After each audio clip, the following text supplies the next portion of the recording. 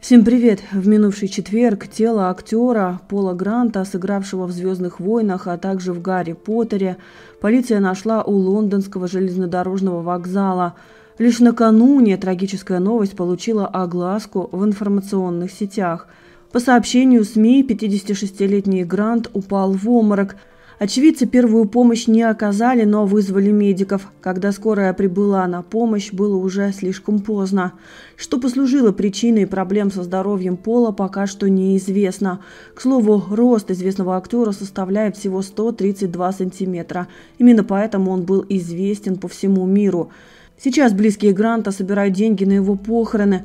Напомним, на счету артиста несколько ролей в кино, и все это самые крупные проекты, например, «Звездные войны», эпизод 6, а также «Гарри Поттер. Философский камень».